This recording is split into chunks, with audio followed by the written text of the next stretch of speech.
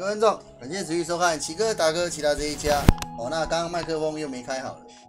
我所以常跟玩家讲了，有些东西真的要习惯熟练，还要多准备好。那今天二零二一年的二月十六号，好星期二啊，生活奇哥这边感谢各位持续的收看，我记得喜欢、订阅、点赞、点分享。那生活奇哥啊，每天都会找一则新闻来做分享啊，有意想不会去玩一些游戏，另外直播挂会挂一些日本频道，像最近挂西门町的，刚看还蛮多人的，因为今天。还没上班哦，明天才会上班，所以还是很多人在西门町逛街。那今天生活奇哥啊，做一些生活分享哈。第一个，开学，看一下我们的标题，开学哦，因为这次的寒假有延长了。那因为疫情的关系，所以应该很多学生的休假都会延长到。好，那我们今天看一下我们的热门搜寻哈。今天的第一项，开学；第二，安以轩、范冰冰、月升之江，不能说的秘密。那长时间在关注我的观众朋友，我应该有讲过，他们只要搜寻少，表示大家都在玩乐、寻找、在逛街、在游玩，哦，在网络上的使用量就变很少。哦，各位观众可以看，才两千次而已。那来看昨天初五银牌银财神就两万、一万、一万元，它搜索次数就不太一样。好，那我们接下来看一下今天的首要的一个。开题开学哦，因为明天就要上班了，时间过得很快了。这还连续上四天班哦，因为礼拜六是加班要补班的日子哦。如果各位观众朋友有上班的，应该看到礼拜六要上班哦，所以要大概注意一下，连续四天班。那我们看一下我们第一项的一个新闻，第一项新闻是 New Talk 哈，New Talk 的新闻，新头壳的新闻分享。那它由他们记者哈与黄宇军哈下午一点十八分的最新报道。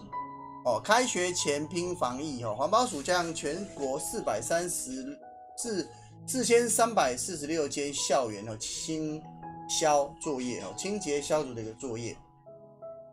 好，那这边有一些相关的一些图片啊，各位嘛，各位朋友，如果还是喜欢这些网页的版面哦，都可以点击下方的网址哦，可以进来参考看一看啊，各家的一些网页粉丝新闻都不太一样哦，找你们喜欢的去看。那这边的啊，高中以下学校距离下周开学日哦，就二月二十二号不到一个礼拜。那环保署为了加强校园防疫作业呀，年假期间已陆续进行校园周边环境的消毒工作。预计开学前将完成全国四千三百四十六所小学、国高中及公立幼儿园的校园清消，哦，确保安静和安全的一个学习环境。好了，全国防疫消毒大队与环保署啊配合哈，负责高中以下学校的一个清消作业了。那针对校园内的一个运动场啊、穿堂、洗手台、厕所、溜滑梯、游乐等设施进行消毒。那学校也同步进行教室内部空间的一个整洁工作。大专院校的部分呢，教育部将督导啊各校委托哈合格清洁业者进行校园消毒。规划在开学前完成。那因为大学大专院校的话，其实是每个都不一样嘛，所以由他们去做分配，才不会说时间不一样。那台北市环保局同样在今天起，也会针对两百九十一所高中以下的学校啊，进行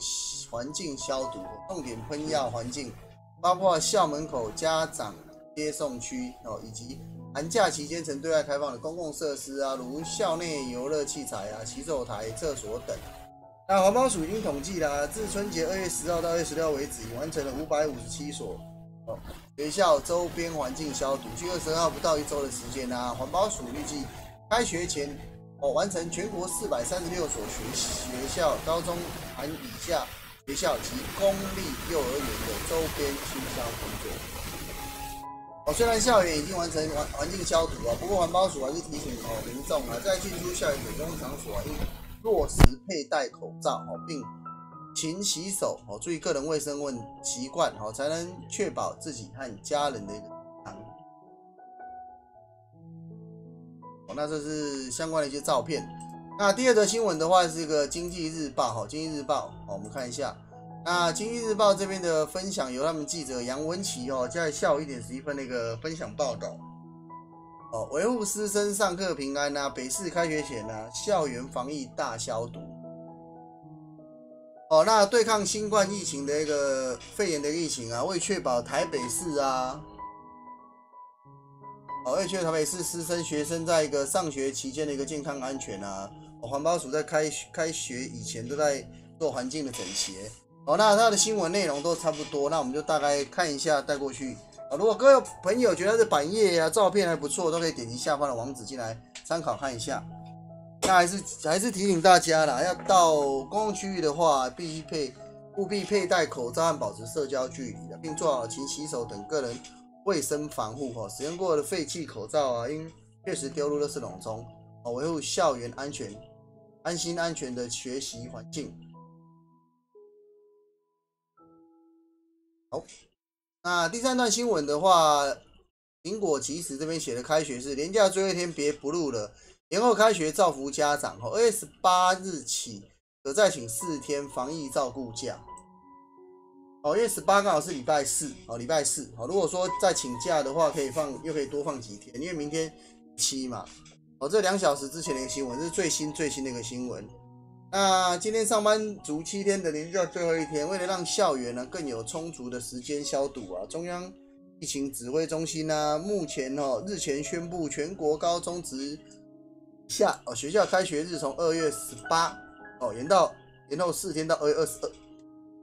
哦，等于下周一才有开学。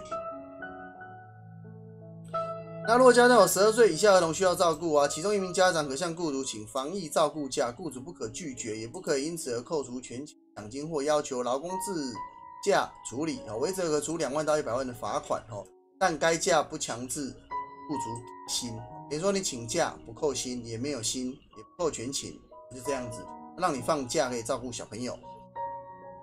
那这边的话，因全国高中职以下延后四天呐，二月十八到二月二十一日二十一日起，家中有十二岁以下的哈学童吼及家长其中一人哦，就是父母双方可请一个防疫照顾假。家长包括父母、养父母、监护人或其他日常实际照顾儿童之，如爷爷奶奶哦，记得爷爷奶奶也可以请假。那劳动部说啊，若家中有就读高中职、五专、专一到专三，国中国中有身心障碍证明子女。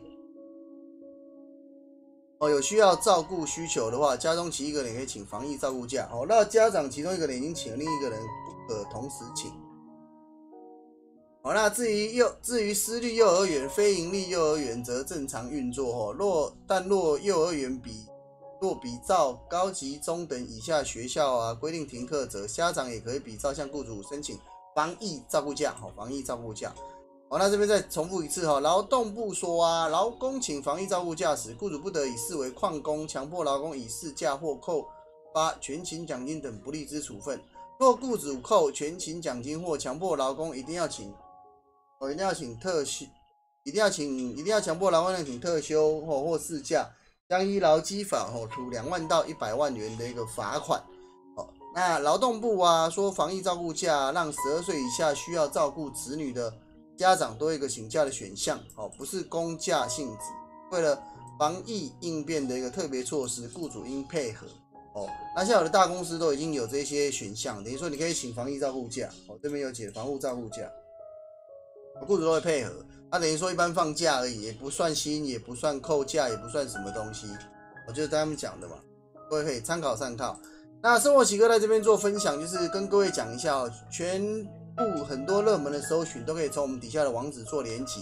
还有我们做了一些分享新闻，还有我们刚刚最后在这边还是要跟各位重点分享一下，就是我们高速公路一九六八哦，一九六八你可以看一下，我们台湾现在全部都是绿绿的，绿绿的都还好哦。那因为新闻报道大家都在看哦，大家都会选时段去闪开闪开一些该塞车该该展开的一些路段，所以你可以看一下我们。头城回来石定这一段已经开始陆续塞塞完了，哦，都变绿色了，只有这部分还有黄线，所以大家都有闪开这段时间就比较不容易塞车，因为有高速公路九六八，还有一些新闻的报道，可以让你更早知道说塞车的状况。那现在是台中北斗园林南投中心这几段，有没有？而这个高速公路九六八，哈，你用手机也可以下载 A P P 去做使用。那再来的话，一样，我们交通部中央气象局的一个气气象分享，哦，各位观众可以看一下今天。北部基隆，我们上面的巴黎那边有部分有雷雨包哦。那气象是说今天晚上会开始变天哦，等于说明天开工就会开始有下雨的情况。那我们看一下一周的预报哈，像现在有个新的路上强风特报哦，基隆市明天哦，明天上午是短阴短暂阵雨哦，那出门要带雨伞。台北市也是阴短暂阵雨，新北市也是。那礼拜四五六会比较好一点，到这几天，等于说明天气温会下降，后来才会把它爬升上来。如果各位朋友对于这些不了解、不清楚的话，都可以在底下做留言哦。那生活奇哥在一些网络上的分享，跟一些在电脑的使用上，也会做一些分享，让各位朋友可以看到更多哦。所以说，在今天的一个开学的分享哈，大家就分享到这边哦。一样喜欢点赞订阅，底下都有小连结，可以去做一些连接你们喜欢的网页或一些相关的一些说明网页。那今天直播分享就到这边，感谢各位的收看，谢谢各位，拜拜。